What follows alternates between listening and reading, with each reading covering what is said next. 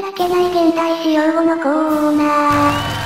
今回は何をやるんじゃ今回は、ウイグル問題についてやります。解説は私シェヘラザードと、かぐや姫でお送りするゆえよろしくの。2021年6月、国際人権団体アムネスティ・インターナショナルは、ウイグル族などのイスラム教徒が多く暮らす新疆地区にて、中華人民共和国政府が人道に対する罪を犯しているとする報告書を公表しました。人道に対する罪との？報告書では集団拘束、監視、拷問などをしていたと主張され、国連に調査を要求しています。21世紀のことじゃろう？ウイグル族とはおそらくは古代から中華北方に住むテュルク系遊牧民族の呼び名で、8世紀には強大なウイグル帝国を形成していました。詳しくは、ウイグル帝国の滅亡を見るのじゃ。この帝国は内紛やキルギスの攻撃が原因で滅亡しましたが、天山ウイグル王国などその後もウイグル族の国はいくつか建国されました。西洋と戦った国じゃの。チンギス・ハーンの下でモンゴル帝国が強大化すると服属し、やがて帝国が分裂するとウイグル人の多く住む地域はチャガ大半国となり、この時代に多くのウイグル族はイスラム教に改宗したものと見られています。ウイグル族にはイスラム教徒が多いのじゃの。次第にウイグルという名は使われなくなります。そしてウイグル人の多く住んでいた地はジュンガルブの滅亡によって真の支配地域となり、新疆と呼ばれるようになりました。新疆新しい土地、という意味があったようです。新にとって新しい土地ということじゃな。19世紀になるとロシア帝国がトルキスタンに積極的に進出します。トルキスタンジュルクの土地を意味する言葉ですが、その範囲は曖昧です。ロシア帝国は現在のウズベキスタン、タジキスタン、トルクメニスタン一帯を指す言葉として使っていたようですね。そしてそのトルキスタンには新疆を含む考えもあるようで、新疆を東トルキスタンと呼ぶこともあるようです。背景にある領土問題が透けて見えるようじゃのう。ロシア帝国に対抗するように、19世紀の後半には新は新教省を設置しています。この新教省に関しては、新が滅びた後も存続しました。中華民国は新の後継国家じゃったの。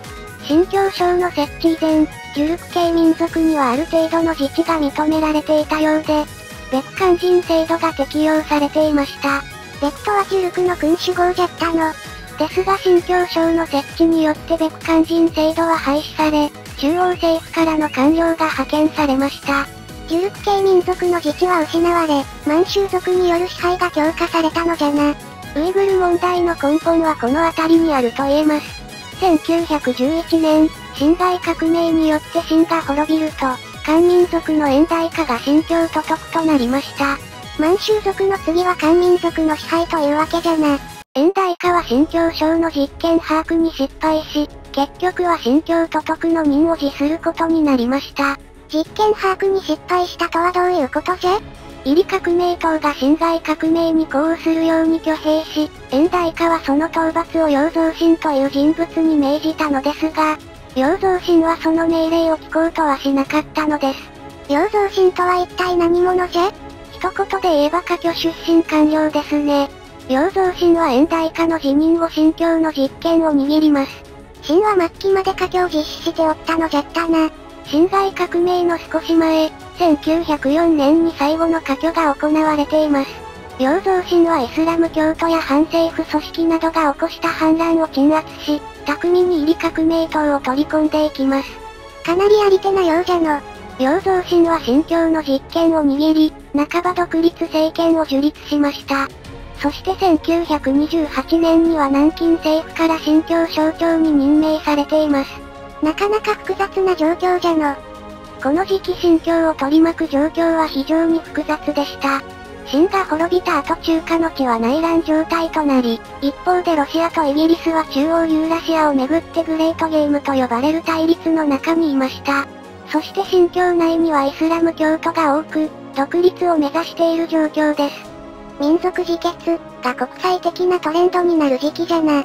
陽造神は独立運動を抑えつつ英ロと独自に外交関係を結びました。ロシア革命後にソビエト連邦が成立すると独自に承認し、新疆に侵攻した白軍を追放しています。白軍とはロシア革命に反対する軍団のことじゃな。新疆省はイスラム教徒が多い地域ですが、養殖は漢民族が占めました。その状況はこの先も続きます。そしてそれが問題の根本というわけじゃな。1928年7月、新疆の絶対的支配者ともいえる養蔵神が暗殺されました。暗殺犯は当時の軍務町長であった反陽南。そしてこの反陽南を逮捕後に処刑し、新疆の実権を握ったのが金樹人でした。次から次へと色々な人物が出てくるのを。金樹人の支配は腐敗と圧政に特徴づけられたと言われます。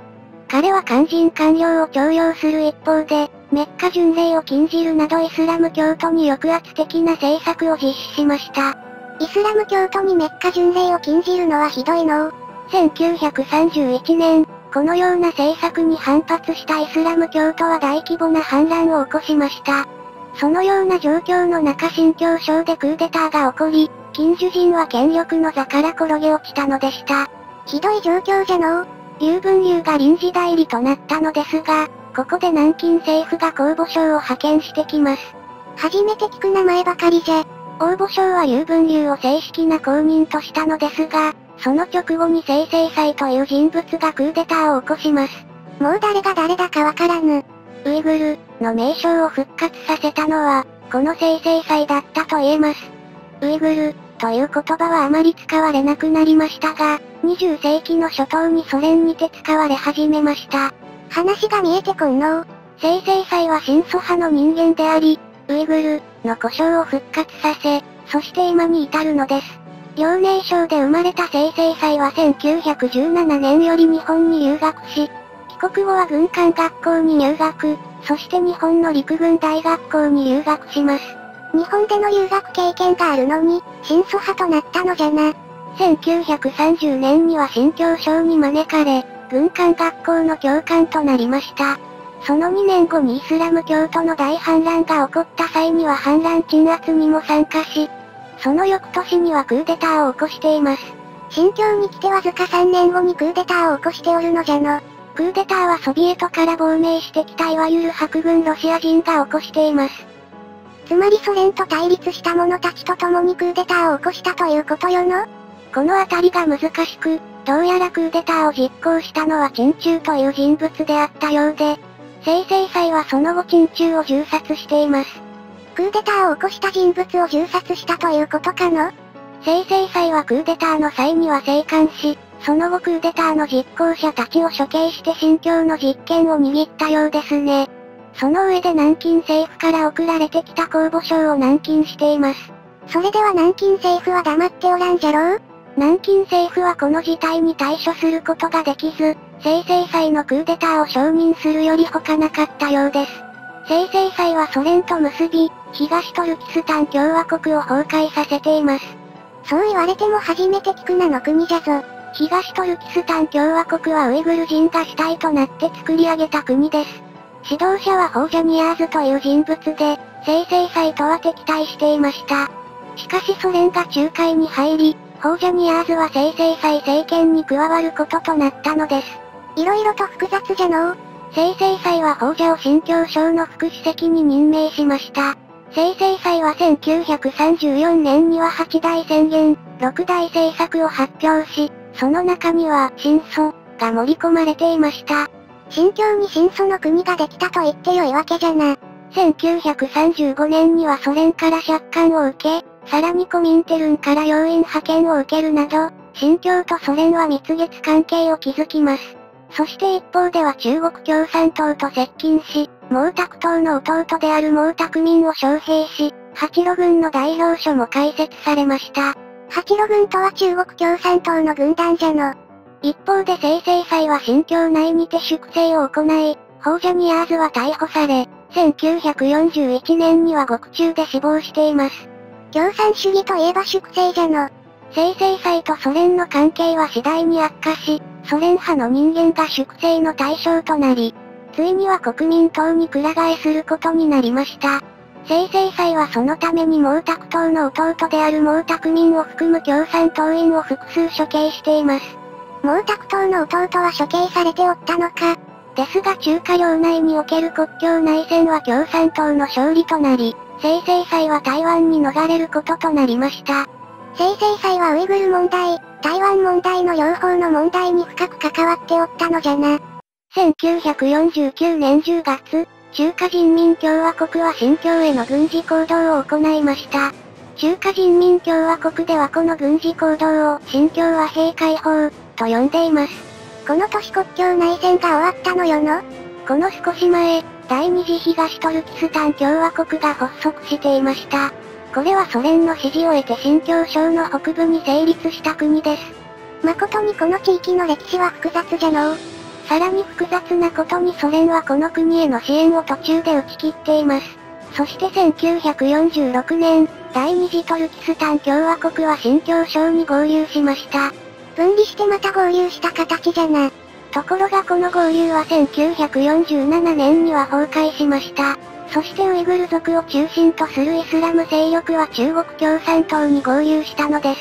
敵味方が短期間で入れ替わるの人民解放軍は新疆省に進駐し、年末には新疆省の支配を確立したのです。そして1955年、新疆省は新疆ウイグル自治区と名を変えました。自治区というからにはウイグル人の自治が認められるのよの？独立は認めないが自治は認める。自治区、という言葉にはそのような意味があると言えます。新疆ウイグル自治区が確立する少し前の1952年、新疆生産建設兵団の大量入植が行われました。大量入植との？この政策が実行される前、この地における漢民族は10%に満たない数であったと見られています。しかし2020年の調査によると、漢民族は40%を超えるほどとなっています。新疆生産建設兵団とやらが原因かの？新疆生産建設兵団は辺境防衛と開墾を目的としていました。その構成員のほとんどは漢民族です。つまり新疆ウイグル自治区には主に漢民族からなる兵団が駐屯しているということじゃな。新疆生産建設兵団の人口は250万人を超えていると見られています。なお新疆ウイグル自治区の人口は2500万人を超えています。人口の1割近くが兵団ということか。当初兵団の数は10万人ほどだったようですが、全国各地から集められ、1960年代後半には150万人近くにまでなりました。独立運動が起きても即座に潰されてしまいそうじゃのう。新疆ウイグル自治区において、ウイグル人の大半は南部に住み、漢民族の大半は北部に住んでいます。経済的に発展しているのは北部であり、経済的不均衡が生じているのです。世界各地で見られる現象じゃのう。中華人民共和国で大躍進運動が起こると、ウイグルでは他の地域ほど飢餓が広がらなかったようで、飢餓から逃れてきた漢民族が新たに100万人新疆ウイグル自治区に移住したようです。人数が桁外れよの。その後に起こった文化大革命により新疆生産建設兵団は大打撃を受けてしまい、一時期は廃止されたようです。ですがソ連のアフガン侵攻やイスラム運動の世界的な広がりにより、1981年に新疆生産建設兵団は再設立されました。イスラム勢力への抑えというわけじゃな。1970年代以降、ウイグル人の都市化が進みました。鄧小平は中華の実権を握るとウイグル人に商品輸送や小売など、各種事業を奨励しています。鄧小平は改革路線を取ったのじゃったの。改革開放政策とも呼ばれますね。ウイグル人は国境を越えたいわゆるシャトル貿易により利益を得、ソ連でペレストロイカが起こるとさらに発展しました。1980年代は共産主義圏で改革路線が採用されたのじゃったの。そしてその後半では次々と共産主義政権が倒れていきましたね。そのことは新疆ウイグル自治区にも大きな影響を与えることになります。どのような影響じゃ？1991年にソ連が解体したことにより、中央アジアにチュルク系民族の国が5つできました。これは新疆ウイグル自治区内にいるウイグル人の独立意欲をかき立てたのです。ウイグル人の独立国家を作るということかの？ソ連が崩壊するより前からウイグル人による独立運動は激化していました。バリン放棄はその代表的な出来事だったと言えます。一体何が起きたのじゃ？1990年4月4日、新疆ウイグル自治区のバリンにて、ウイグル人と中華人民共和国軍の間で武力闘争が起こったのです。この日数百名のウイグル人が、ウイグル人女性の強制中絶と中華支配に抗議しました。強制中絶とはどういうことじゃ？中華人民共和国は、ウイグル人女性に対して強制否認及び妊娠の中絶政策を行ったのです。にわかには信じがたい政策じゃが、中華人民共和国は暴動を鎮圧するために武装警察を派遣し、武力闘争に発展しました。この衝突は双方に死者を出すこととなり、警察は人民解放軍に増援を要請します。もう内戦ではないか。参加者数百名は数日以内に人民解放軍に捕らえられました。バリン放棄はウイグル問題の短所であったと言えます。つまりこれから問題は大きくなっていくということじゃな。以前から新疆ウイグル自治区の住民は中華人民共和国への不満を募らせていました。1960年代には中華人民共和国は新疆の砂漠地帯にて核実験を行い、住民からの強い反発を受けていたのです。色々なことが透けて見える出来事じゃな。中華人民共和国はロシア、キルギス、カザフスタン、タジキスタンの5カ国による上海5を結成。1996年に結成されたこの機構は、経済協力とともにウイグルの独立運動を阻止する目的がありました。中華人民共和国はウイグルを独立させる気はないようじゃな。新疆ウイグル自治区には、石油や天然ガスをはじめ、豊富な地下資源が存在しているのです。石油は中華人民共和国全体の3割以上、天然ガスも3割以上、石炭に至っては4割以上の埋蔵量があると推定されています。今回の問題も石油なのじゃな。その石油利権を握っているのはウイグル人ではなく漢民族です。中華人民共和国は、ウイグルの独立を阻止すべく手を尽くしているのです。それが現在でも続いておるわけじゃな。1997年、新疆ウイグル自治区にてグルジャ事件が起こりました。この事件はメシュレプ集会の主催者が逮捕されたことに端を発しています。メシュレプ集会との詩、音楽、ダンスなどを含む文化的実践のことをメシュレプと言います。中華人民共和国はその主催者を逮捕したわけじゃな。翌1997年には主催者だけではなく参加者も逮捕されており、当局の意図は明確でした。民族運動の弾圧というわけじゃな。1997年2月5日、ウイグル人は新疆の独立を叫びながらデモを行いました。このデモも武力闘争に発展してしまい、当局は警察官を含む10名が死亡したと発表しています。ですが死亡者はもっと多い可能性があります。公式発表をそのまま鵜呑みにはできんというわけじゃな。この事件以前から中華人民共和国はウイグルの民族的文化を弾圧しており、ウイグル人作家が書いた本が発禁処分にされた上、著書が軟禁される事件も起こっています。何が何でも民族運動を抑え込みたいのじゃな。中国は漢民族を含め56の民族で構成されている国家だとされます。ウイグルに限らず、民族的な独立を認めれば歯止めがかからなくなるのを最大民族である漢民族は阻止したいわけです。そのためには、力で抑え込む、というわけじゃな。ですが力で抑え込もうとすれば、それだけ反発も強くなるのが民族意識というものです。これまでの人類の歴史がそうであったの。ウイグル独立主義者の一部は国外に渡り、イスラム勢力と結びつきました。東トルキスタンイスラム運動、通称 ETIM はその代表と言えます。ウイグルの独立を目指すイスラム組織かの？この組織はシリアやパキスタンに拠点を持ち、タリバンなどとの関連も指摘されています。2002年、国際連合はこの組織をテロ組織と認定しました。過激な方面に進んでしまったか。2008年に起きた混迷バス爆破事件は ETIM によるものだとされています。また、中華人民共和国によるウイグル政策の転換点になったとされる。2013年の天安門自動車突入事件、2014年のウルムチ駅爆発事件なども ETIM の犯行だと見られています。泥沼じゃな。一方で中華人民共和国はウイグル人の民族運動をさらに抑圧し、2003年には高等教育における看護の使用を義務付けました。かつてロシア帝国も同じような政策を行っていたの。そして2009年、ウイグル騒乱が起こりました。この騒乱はデマが発端だったと見られています。デマとのウイグル人による漢民族女性への性的暴行。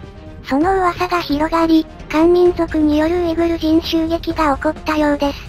そしてこの襲撃事件が2009年のウイグル騒乱の引き金でした。色々なことが爆発したわけじゃな。騒乱が始まると新疆内の電話回線とインターネット回線が遮断され、故に正確な情報は外部からは知ることができないようになりました。そのようなことができるのじゃな。ウイグル問題における重要な点は情報の遮断です。2009年の騒乱に限らず、この問題は外部に漏れないように情報統制が行われているのです。それでもこの情報社会で完全に情報を統制するのは不可能じゃろう。多くのウイグル人が国外に脱出し、情報発信を行っています。そしてその発信と中華人民共和国の発信には食い違いが見られます。まるでいい柄証文じゃな。亡命ウイグル人は平和的デモに対して当局が発砲し、市民が暴徒化したと主張し、中華人民共和国側は計画的に引き起こされた暴力的犯罪だとしました。ならば情報統制の必要はあるまい。中華人民共和国側は死者184名、うち漢民族の死者が137名であると公表。死亡者の多くが漢民族であるということじゃな。亡命ウイグル組織はその公式発表に反発し、ウイグル人死者は数千名に及ぶとしています。中華人民共和国はこの騒乱を受けて満単位の軍、警察を投入。この出来事は国内外に様々な衝撃を与えたと言えます。衝撃の2013年10月、ETIM は天安門広場自動車突入事件を引き起こしました。この出来事により3名が死亡、38名が負傷しています。天安門広場といえば北京にあるのよの当局は容疑者5人を逮捕。いずれもウイグル人でした。翌2014年、中国共産党は人民戦争を開始しました。戦争じゃとこれは全人民の力で敵に打撃を与えるという戦争理論で、人民戦争理論は毛沢東思想の中核にある思想とされます。現代中国は毛沢東思想に回帰しようとしておるのじゃったの。2014年から始まったこの戦争は次第に激化し、中華人民共和国側は徹底的な殲滅を宣言しています。そして2017年頃から強制収容所を運営しているとみられます。まるで第二次世界大戦じゃな。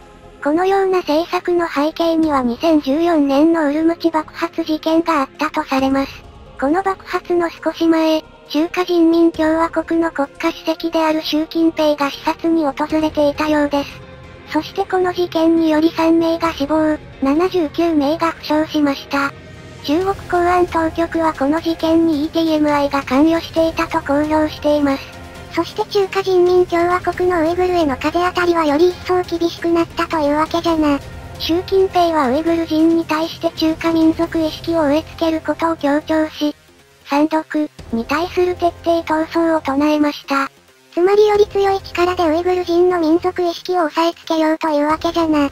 2014年以降、ウイグル人投獄者数は爆発的に増えました。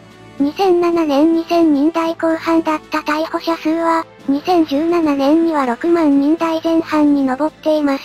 10年間で少なく見積もっても30倍以上とはの多数のウイグル人は令状なしで逮捕されていると見られており、多くは新疆ウイグル再教育収容所と呼ばれる施設に収容されていると見られています。なんじゃその恐ろしい名前の施設は、中華人民共和国側は食用訓練施設だとしていますが、その実態は再教育のための強制収容所であると見られており、100万人規模のウイグル人が収容されたと見られています。再教育とは一体何をしておるのじゃ BBC の報道によれば、侵攻の放棄、習近平国家主席への忠誠の強制、などが行われているようです。21世紀の話とは思えん。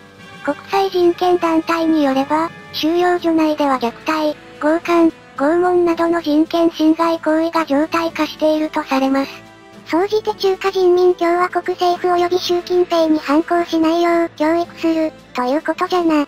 CNN によれば、中華人民共和国はウイグル人女性に対し、不妊手術を強制しているとされます。新疆ウイグル自治区での不妊手術の件数は2014年には3214件でしたが、2018年には6万440件に跳ね上がっています。あまりにも異常な上昇率じゃな。2022年、国際連合は中華人民共和国に対し、深刻な人権侵害が見られるとして中華人民共和国を非難する報告書を公表しました。中華人民共和国側は報告書の内容を否定し、西側によって仕組まれた茶番だとしています。国際連合はまるで機能していないのを一方で対外的にはロシアなどと協調し、上海5は上海協力機構として強化され、国外におけるウイグル人独立運動を壊滅させる姿勢を見せています。総じて反抗的なウイグル人を殲滅し、ウイグル人の文化や民族意識を消滅させ、感化、させるつもりなのじゃの。これは過去に起こった出来事ではなく、現在進行形で行われている出来事です。厳格な情報統制により、ウイグル問題の全容は分かっていません。分かっている部分は氷山の一角で、大半のことは秘密裏に進められているのでしょう。これが日本からそこまで遠くない海外の実情なのじゃの。といったところで今回の動画は終了となります。チャンネル登録して、次回もご覧いただければ幸いです。チャンネル登録していってね。